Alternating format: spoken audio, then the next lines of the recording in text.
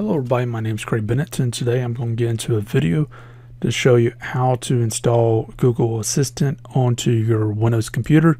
As a quick example to show you what I'm talking about, it's basically in order for it to work you have to have a given command each time that you want to use it and um, or each time that you want to initiate it and then each time that you want it to hear you so okay google isn't going to work here. You have to press enter for it to even know to start listening to you. So here's the example. How are you today? All's well. Anything i can help with? What is 2 times 2 the answer is 4 how big is a blue whale Blue whale typically has a weight of 300,000 pounds. See, this is basically how it works is it figures out what you are asking and then it responds to it. Uh, so it sends it over the internet and it responds back. So that's a big thing to note. You got to press enter each time that um, you want to talk to it, unless if it's something like here where I asked it a uh, question that will require a follow up. So it will um, automatically cause the recording, just like if it was on your phone. This is actually what is happening on your phone. You just don't see it because, well, this is the back end of the thing. Um, and, and, and because of that, it's important to note that this is not Google Home. so um, some functionality like on Google Home, um, I don't know, uh, let's say call Pizza Hut. Calling Pizza Hut.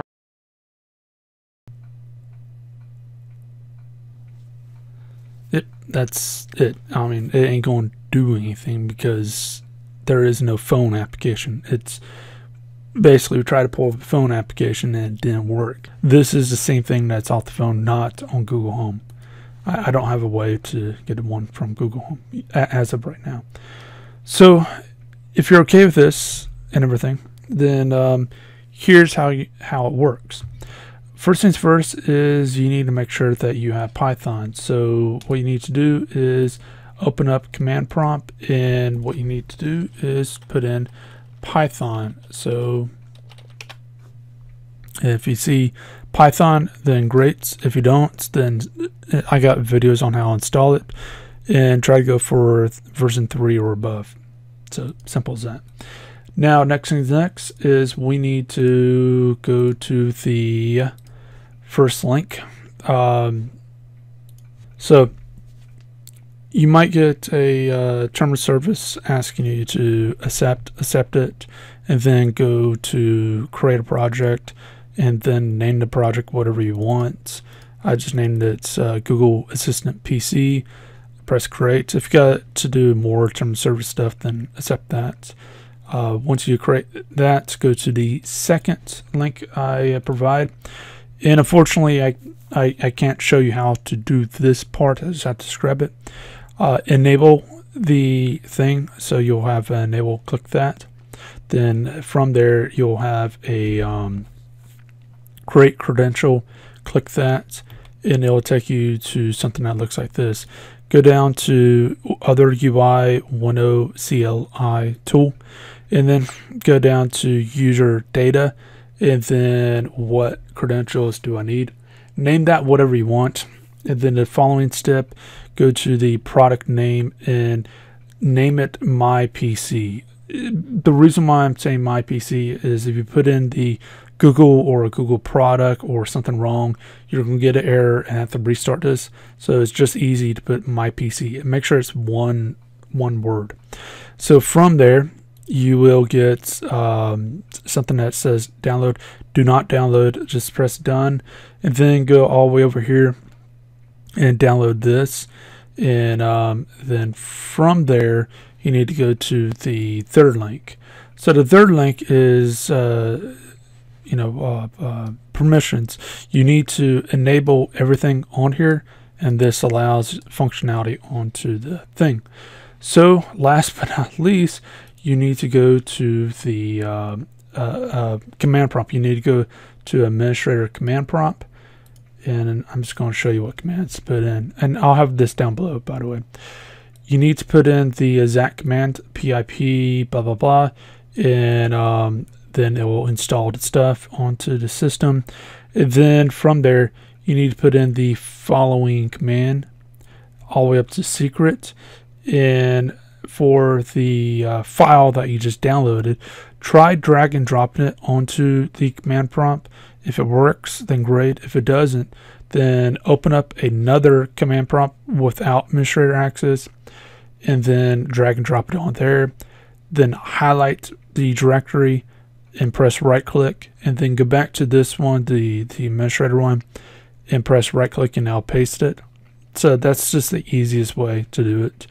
And then afterwards, do space after, after JSON, do space, and then paste in the rest of this code. So from there, what you need to do is you if, if things work, you're going to get the follow, uh, a a website. So what you need to do is copy and paste the website into a browser, and then you need to put in whatever whatever authorization code it spits out to you.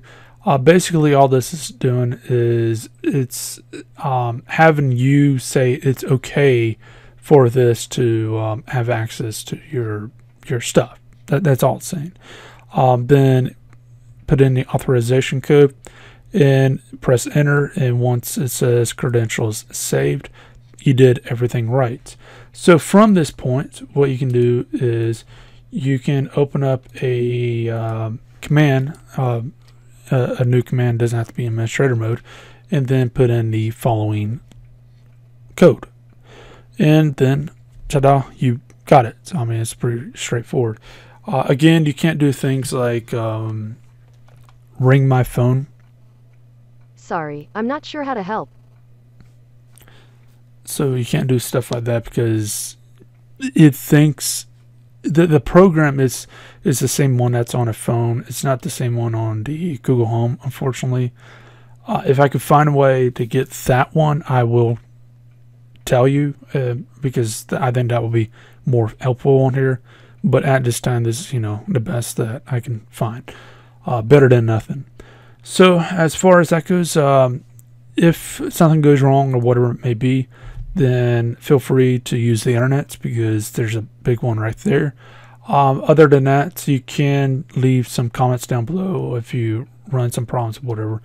And if I got time, then I will see what I can do. If others know the answer, then feel free to answer for that person. Uh, with that one in mind, um, see you next video if that comes out, whenever it comes out. And um, hope you have a great day.